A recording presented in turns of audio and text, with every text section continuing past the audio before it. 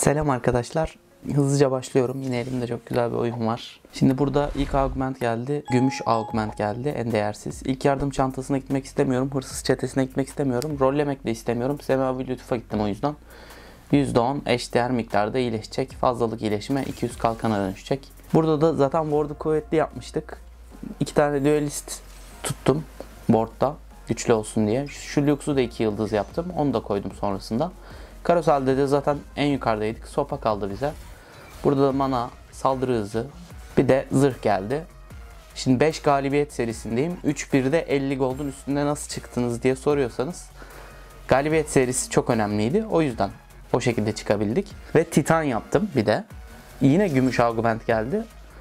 Burada da yine eşya çekişine gitmek istemiyorum. Hazırlığa da gitmek istemiyorum. Sürgünleri seçtim. Ayrı oynarım. Kalkanla başlarlar. Mantıklı bir seçenek olduğunu düşünüyorum. Savunucuyla düelisti açtık. Ee, Bir de Ramus'un bir yıldızında da bir buff vardı biliyorsunuz. Onu da kullanalım diye. Ramus'u da koydum. 7 galibiyet serisindeyim şu anda da. Hala 100 candayız. Karosel'de yine en tepedeydik ama kritik kaldı. Zaten ben kritik almak istiyordum. Şimdi bu şımarıklığı yapabilirim. Ramus'u tutmayacağım ama erken aşamada zaten galibiyet serimi korumak adına Ramus 2 yıldıza çıktım. Titan'ı yaptım. Adaletini yaptım. Shojin'i yaptım. 50 gold da bekliyorum. 9 galibiyet serisine çıktık burada. Ve paramızı da tutarak çıkıyoruz. En önemlisi o zaten burada aslında. Yani hiçbir şeye yatırım yapmadan çıkı- çıkabildik. Güzel tarafı oydu. Şimdi ben yeni bir şey keşfettim arkadaşlar. Titan favori eşyam şu an. Niye olduğunu da anlatacağım oyun içinde. Görüyorsunuz atlamaları da zaten. 10 galibiyet serisindeyiz. 73 candayız. 4-1'de mükemmel gidiyor. Hextech silah kılıca da buff vardı. Onu da yaptık. Şimdi burada sonunda düştü ward. Yenildik. Olabilir. Şampiyon Chosen geldi. Çoklu atış çok OP abi. Buff aldı. %50 idi bu önceden. %75'e çıktı. Vayne ultisini attığında yanındaki iki rakibe daha %75 hasar verecek. Normal kendi ultisinin verdiği hasarının %75'ini diğer rakiplere de verecek. E kerimiz de yoktu. Vayne kerimiz olabilir bizim. Şimdi bunu gördüğüm anda artık Kyle'ı direkt şutluyorum. Vayne'i borda koyuyorum. Ve o itemlerin üçünü de Vayne'e verdim. Şimdi niye Vayne'e verdim? Adaletleri can alsın diye. Titan yeni favori eşyam dediğim gibi. 25 yüke tamamladığında çok güçlü bir hale geliyor. 50 %50 saldırı gücü, 50 yetenek gücü veriyor. E, zırh büyü direnci de veriyor. Çok favori bir eşyam. Shojin'i de daha hul- hızlı ultisini atsın diye verdim. Çünkü Duelist'ini biz bunun zamanla 4'e çıkarırız. Kafamda o var. Buraya kadar anima ile gelmediğim için anima Vayne oynamayı düşünmüyorum burada. Yani bunun yanına bir de Miss Fortune koyayım, bir de başka bir şey koyayım. Anima'nın şampiyonları biraz güçsüz. Miss Fortune haricindekiler. Ben de tam tersine öndeki fronttaki şampiyonlarımı güçlü tutmak üstüne kurdum board'u. Bakın burada 25 yüke tamamladı. Müthiş bir item haline geldi benim için Titan yani. Burada yine çoğu şımarıklığını da yapıyoruz tabii ki. 2 yıldıza çıktık. Yani galiba çok zaten stomp gidiyorduk. Bir mağlubiyet aldık. Mağlubiyet aldığımız rakip de zaten 3 yıldız şampiyon yapmıştı o yüzden. Şimdi burada Sejuani'yi aldım. Sejuani Zed'im var. E, Yasuo da lazer birliği. Ben bir yerde lazer birliğini aktif edeceğim kesin. O yüzden Sejuani'yi aldım ve direkt borda koydum. Burada artık Lux'u salladık. E, Yavaş yavaş lazer birliklerini ve duelistleri kal- koymaya başlayacağız bu arada ama hala daha güçlüyken yavaş yavaş bu kademeye indireyim istedim. Halbuki burada mesela Kyle'ı sokup e, Zeki çıkarsam daha iyi olurmuş. Yani 4 düeliste çıksam daha iyi olurmuş. %10 saldırı hızı kazanacak 4 düeliste şampiyon düel, düello şampiyonlarım. Bir süre sonra yüklerini biriktirdikten sonra. Zaten Titan burada çok okey çalıştı arkadaşlar. Görüyorsunuz yine 25 yükte. E, Shojin tamam yetenek gücü veriyor ama Vayne yetenek hasarı da atıyor ultisiyle. Full AD atmıyor. Yani AD, AP, AD atıyor ama AP'ye bir karşılığı da var yani ben, yanlış bilmiyorsam. Karosel'den de Negatron pelerini aldık gördünüz. Şimdi burada yavaş yavaş Zeki çıkarttım dediğim yani daha demin bir önce değiştirmem gerekiyor dediğim şeyi yaptım.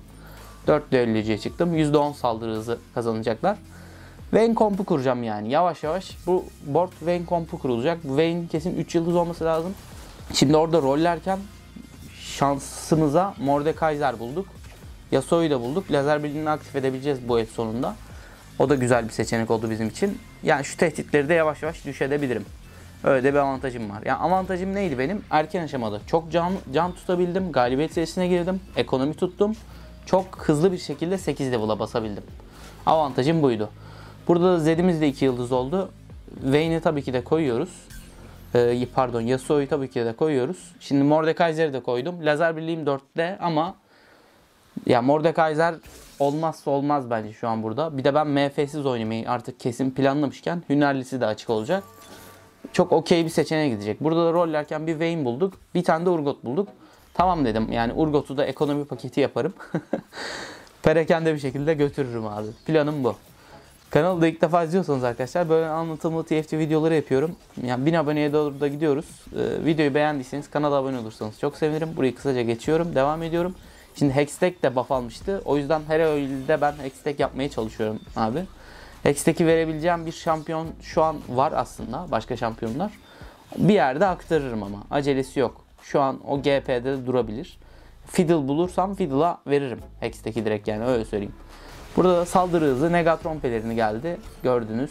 Burayı da patlattık. Ya şimdi ben burada Zed'e de item vereyim istedim. Bakarsınız Zed de 3 yıldıza gider belki. Çünkü çok altınımız var. 8 level'dayız. 9'a çıkma gibi bir planım yok. Rolleyeceğim. Şimdi Vayne'li anca 2 yıldız yapabildik. Aşağıda bir Vayne daha var. Onu da alacağız tabi. Şimdi ben burada Zed'e dediğim gibi itemledim. Kana susamış verdim. Gittim bir de Runa'nı verdim. AD'den alsın. Zaten o da duelist. O da lazer birliği. Yani Vayne'den sonra en çok vurabilecek şampiyonum Zed'di benim burada. O yüzden Zed'i Zed'i de itemledim. Belki 3'e de gidebilir yani. Belli de olmaz bilmiyoruz. Dün yaptık 3 yıldız Zed'i. Gördünüz. Gayet güçlüydü yani. Aşağıdaki Vayne'i aldık. Gördünüz.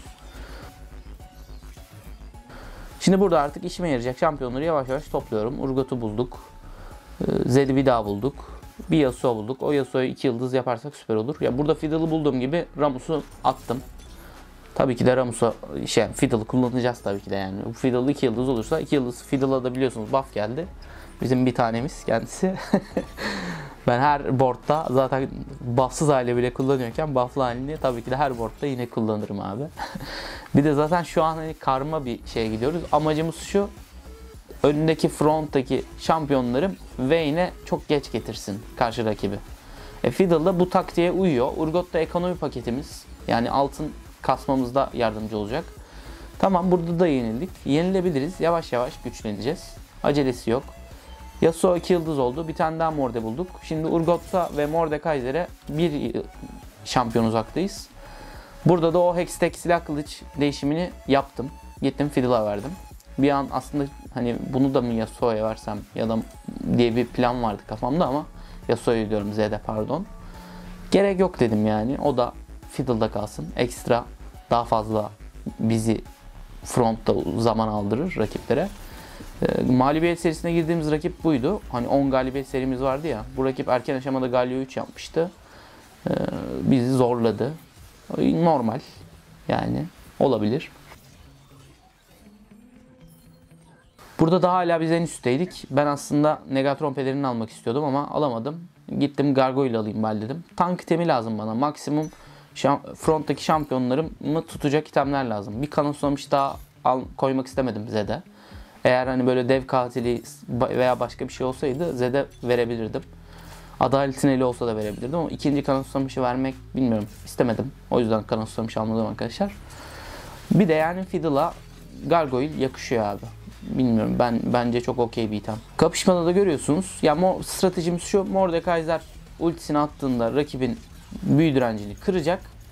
Fiddle front'u olabildiğince oyalayacak. Vayne arkadan Titan'ını doldurduktan sonra zaten Vayne çok tarıyor. Shojin'de olduğu için çok fazla ultisini stekleyebiliyor. E zaten ultisinin özelliği %75 daha saldırı atması yanındaki iki rakibe.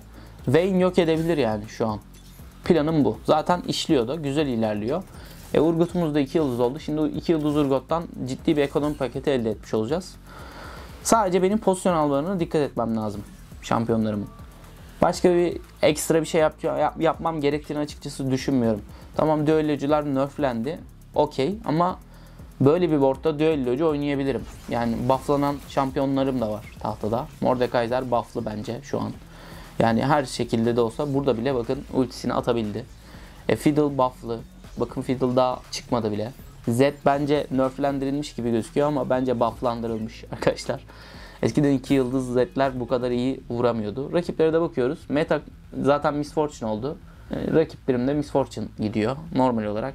İkisi Miss Fortune gidiyor. Diğeri de 4 kesin atış yapmış. O da güzel bir seçenek. Ama kesin atışta hani carry'i neye göre planlayacağınıza göre değişir. Elimde öyle bir oyun daha var yine. Elimde güzel oyunlar var abi. Yavaş yavaş onları da koyarız. Mordekaiser'i de 2 yıldız yaptık. Sejoni'yi de 2 yıldız yaptık. Ya yaptığım en büyük hata burada bu olabilir. Belki Z'de son fısıltı alınabilirdi. Ben iyon kıvılcımı aldım. Aslında Mordekaiser zaten bu işlevi veriyordu bana. Ama dedim ki yani iyon kıvıl ya Mordekaiser'in ultisi sonuçta RNG. Bu RNG'den minimum etkileneyim. Kesin kırılsın rakibin büyü direnci. Her tarafta kırılsın. Bir tarafı Mordekaiser kırabiliyorsa kırsın. Diğer tarafı da Fiddlesticks kırsın. Öyle bir şey düşündüm. Aslında son fısıltı alınabilirmiş. Ya da Urgot'a da bir item alınabilirdi burada. Urgot'umuz da 2 yıldız yani sonuçta bizim. Yani belki benim yaptığım bir hata olabilir bu arkadaşlar. Öyle söyleyeyim. Yapacak bir şey yok ama. Çok hızlı bir karar verdim ve uyguladım. Yani sonuçta en kötü karar kararsızlıktan daha iyidir mentalitesine sahibim şahsen ben. Siz de bence öyle olun. Ee, Burada da şimdi Nila'mız da 2 yıldız oldu. Onu da bir şekilde borda koyabilirim. Vayne çok uzun süre rolledik bulamadık bulamadık. Bakın tüm altınımı bitirdim yani. Z'den 2 yıldız var bench'te. Vayne anca 3 oldu. Olabilir. Yani 8'e gidince biraz 3 altınlık şampiyonları 3 yıldız yapmak daha zor oluyor. Genelde 7'de bitirmek gerekiyor. 3 altınlık şampiyonlarla bir kompozisyon kuruyorsak. İşte maksimum 2-3 şam, 3 şampiyonu 3 altında 3 yıldız yaptığınızda yine güçlü bir board'a sahip oluyorsunuz. Biz burada erken aşamada çok paramız olduğu için 8'e çıktık. Ee, ya Mordekaiser'i 2 yıldız yapmak da bence çok anlamlı ve değerli. Fiddle'da 2 yıldız yaparım planım vardı. O yüzden 8'e çıktım. Çok da kötü işlemedi. Tamam çok para harcadık ama Vayne sonuçta 3 yıldıza gitti. Şimdi bakın zaten Titan'ı yine fullledi. Rakibin 3 şampiyonu var ama fark etmiyor yani. Bu şampiyon Choose'unu inanılmaz güçlendirdiler bence. %50'den %75'e gitti. Ben bunu PB'de de oynamıştım. Hem de Mana Zane'le oynamıştım orada da. Oradaki de çok kuvvetliydi. Buna zaten bir Mana Zane koyarsanız uçuyor gidiyor abi. Yapabiliyorsanız yapın. Şimdi 3 kişi kaldı. Kesin atış rakip kaldı. Bir de animatimi forcelayan rakibim kaldı. Zaten ikisi de meta'ya uygun hareket ediyordu oyun başından beri. Okey. Ama biraz da böyle şey yani süper kahramanların nefretini Miss Fortune alacak diye korkmaya başladım. Çünkü herkes Miss Fortune Force diyor. Bende de var bir tane Miss Fortune 7 animatimli oyun. Yine aynı şampiyon Choose'unu seçtim ben orada da. Ve aslında Titan'ı orada keşfetmiştim arkadaşlar. Güzel olduğunu. Sonra ama orada 3 yıldız olmamıştı. Yani yine kazandık o oyunu da. Ama pozisyon almalarla kazandık o oyunu. Ee, yine at, atılabilir yani. Bu daha güzel olduğu için bunu atmak istedim. Yine ileriki zamanlarda onu da gösterebilirim animatimi kompozisyon olarak size. E, gün ateşini aldık. E, Mordekaiser'e vereyim dedim. Ekstra canı ile şiştirmelerini azaltsın. Şimdi burada rakiplere bir bakmıştık zaten. Ben abi şöyle bir şey dedim. Sükuneti yiyecekse de bile hani bir kerim yesin. O yüzden Zed'i böyle şey Vayne'i bir de oraya koydum ama abi rakip de en sağa çekmiş. Ben hiç bunu beklemiyordum. Keşke Vayne burada en solda olsaymış yani. Hiç sükuneti yemezdi. Olsun. Zaten ilk steğinden sonra kolay bir şekilde ilerledi.